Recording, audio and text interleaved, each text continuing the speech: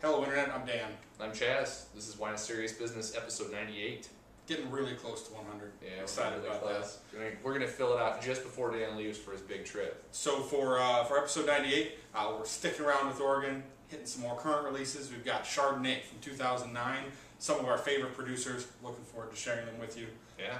Uh, These are all reserve bottlings too. So this is this is a single vineyard one for Evesham, and then a reserve, and then the Arthur from Drouhin. I don't think Drouhin makes anything less than their Arthur or anything more. They do. They make, but it's really it's like club only and small production. Okay. Um, so so this is Yeah. you know the bulk, you know the vast majority of the fruit, and they put a lot of effort into, into making making this good. Okay, So- awesome. Yeah, and, and from year to year, the Arthurs that I've had have been very, very good. So, uh, but yeah, get right into the first wine. So the first one is one that we've had on the show before with when, with Bo was the Evesham Wood Le Puits Sec Chardonnay from uh, yeah from from Eola-Amity Hills, 2009. Yep, and uh, Oh, I stumbled. we, we did the 2008. We loved it. Um, it was one we discovered took a little while to open up. Um, and uh, this is made right the uh, a single vineyard and a very small plot. They make one barrel of this every year. Still very reasonably priced, as most of their wines are. I want to say like 22, 24 bucks. yeah, right around right around twenty dollars um, for for you know rock solid Chardonnay from a well respected producer. Yeah. And they put a lot of effort into this bottling too. Not that they don't for their, excuse me, Willamette Valley Chardonnay, but um, the vintages that we've had of this so far have just been absolutely brilliant. So Getting like a lemon cheesecake on the nose. Yeah, kind it's of like like, a little creamy, little but the acidity's coming through. yeah, the lemons and the stick out. There's like a richness. That pie, you smell the whole pie there. A little bit of something floral there too. Nice nose, opening Yeah. up, opening up nicely. Man, yeah. you said that pie, and that's really like almost all I'm getting now. It's like rich, and there's like a, a bright, a bright acidity too coming through on the nose. and plenty of it. Right, Yeah. like it definitely suggesting a lot of acidity on the palate here. So Very, very sweet and rich. Yeah.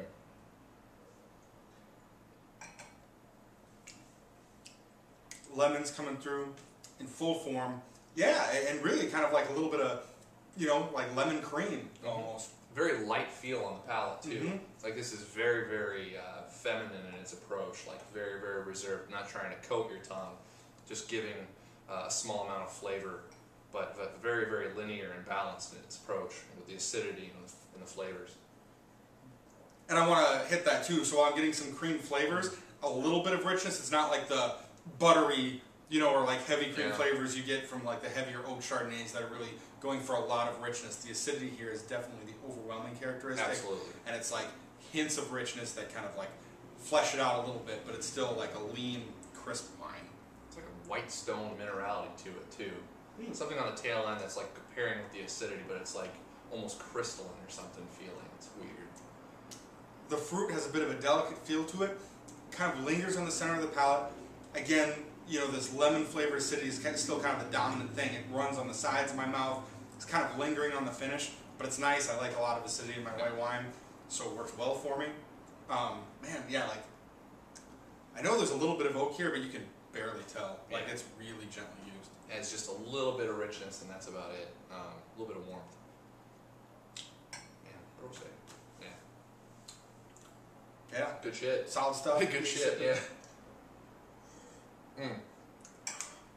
That's what I was gonna say. Perfect summer wine, just super refreshing and complex enough to where it's like super interesting. Um, Don't talk about pairings a whole lot. Whitefish, I want it. ooh, that would be good. Halibut, yeah. Um, 89 plus. 89 minus. All right. So Right on solid of stuff. each other. Yep.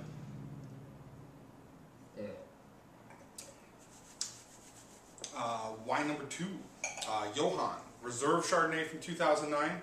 Uh, we had Don, Dan and Dag on as guests not too long ago. Awesome guys, biodynamically farmed. Um, again, we, we know them. They put a lot of love into their vineyard, a lot of hard work into the wines. Their whites have been exceptional, you know, since well, I like all of their stuff, but but like their whites really stand out to me since I since I discovered them. Absolutely. So I've been really looking forward to giving this a try. I feel the same way. They do a lot of cool stuff with their whites. And one thing that's kind of interesting, you can almost see. I don't know if you guys can see the cloudiness in this, but it's wine. It's bottle. It's almost room. It's not room temperature. It's No, it's a probably like ten or fifteen degrees below, but it's not sweating or anything. I mean, it's It's cloudy. It That's what I thought at first, right? I'm like, oh, it's just condensing on the bottle. It's totally not. Like, No. Like, un, yeah, unfiltered. Yep. And you said there was four barrels of this. Four or five. I'm trying. I want to think. I want to say it was five, and uh, we tasted through them. They had some sulfured and some unsulfured barrels, and uh, man, just absolutely beautiful. Um, when we bottled it, I was could have drank it right out of the barrel. Or the bucket. Yeah, or the or definitely definitely drank some out of the bucket while I was there bottling. So. Oh my gosh. Definitely more richness on the nose here. It's a little more full. There's still like a really firm backbone of acidity, and I'm gonna go with lemons again. Getting more richness. Wow, We're talking about like the lemons and the fruits coming through, but this is just getting bigger as it sits in the glass. So I was, I was leaning more towards nectarines like stone fruits, but man, it's still there. Man, the richness is like coming through. A little bit of that butteriness going on too. Yeah. Like not over the top. I'm digging it. Yeah, this is really really nice. Decadent Very decadent. My girlfriend, who's not that much into these sort of white wines, she smelled this and she was like, "That smells really good." Stuck it in her face right before she left.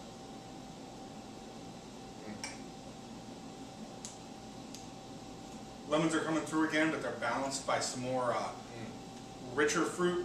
You know, he was talking about nectarines. I'm kind of gonna kind of run with that, or like a barely ripe peach, um, but just some really nice fruit flavors mixed in with the citrus. The lemon's outlasting everything on the end, Yeah. kind of drying things up. Yeah, really drying things up on the back of the palate. Nice long evolution there. Dan's killing it today. You thought you were gonna be the weak one with your I know. palate. Yeah, you're smashing it. I get a little bit of like green melon as well. Specifically closer to the rind, like a little bit of Nice. tartness or a little bit of bitterness coming through, but like green melon along with these like nectarines and like substantial lemon flavors. The richness is still holding on on the finish for Mm. 10, 15, 20 seconds. I mean, it's long. And, and I'm really digging like there's a full spectrum of flavor here. Yeah. um, even in the front and the mid palate, like I'm really getting like the citrus, the richness, you know, a full expression of fruit, you know, including some of those stone fruits, a little bit of apples going on, I think too. Well, Yeah. good integration between all of them. Not Mhm. like not like chunks of them that are all in weird places. Like you're getting seamless integration amongst all of these flavors as they transition. And more to come. Like I expect it to integrate into the finish a little bit more. A lot of those flavors kind of fade as the mid palate, mid palate rolls off, and I'm left with, uh, you know, that acidity drying things out, keeping things clean. A little bit of the richness, faintly, faintly. The acidity is crazy.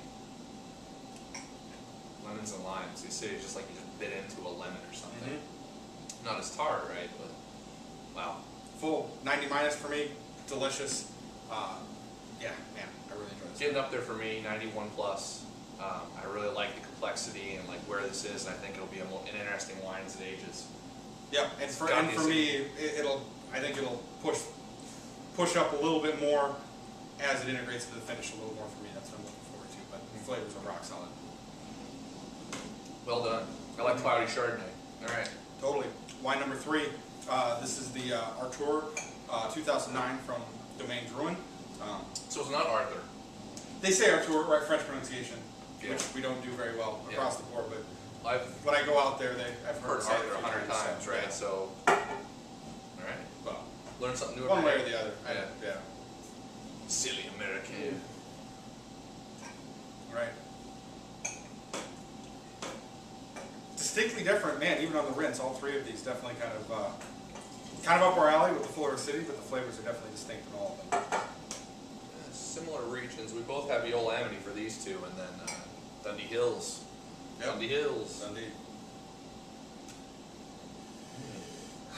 Getting like red apple sense here with the uh, like crisp acidity again, like tons of acidity on the Yep. nose, and I I lean more towards limes than lemons here. You get some Honeycrisp apple things go on here, like really, really fresh apples, like fresh cut, just bam, delicious and juicy. even like a dusting of nutmeg, right? Like maybe that's a little bit of the oak coming through there, but it's not Mm-hmm. Yeah. dominant again, like way in the background. Yeah, we popped these initially, just to make sure they weren't uh, corked, the, the, the oak was sticking out substantially for me. This is the fruit came forward a little more now, so definitely give these a little bit of air time. Maybe even decant it if you're gonna drink it, pop it and drink it. Crisp and clean on the nose though. It smells awesome.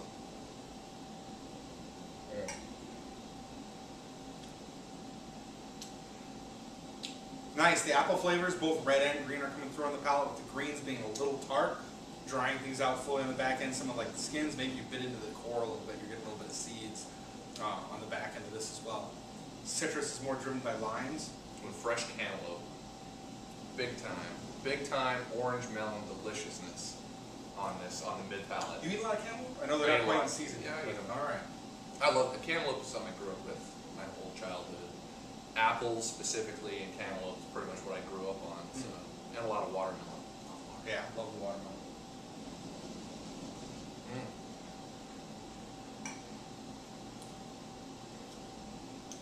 It starts off pretty strong with the apple flavors. I get like a healthy dose of cantaloupe, orange melon stuff going on in the mid palate. And the mid length on here is long. Maybe Really good acidity car- carries it along too for nice finish. It gets up in the sides of the mouth Yeah. around the gums too, like it's drying things out. Not, I think this has a little, little more force to the dryness, but this is a lot more full. It Covers the whole mouth, Mm-hmm. lingers a really long time. You get a little bit of like bee pollen or like just a faint hint of honey on the mid palate here too.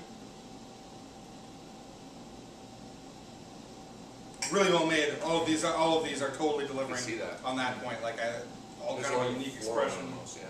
good flavors. That's good. These are all good.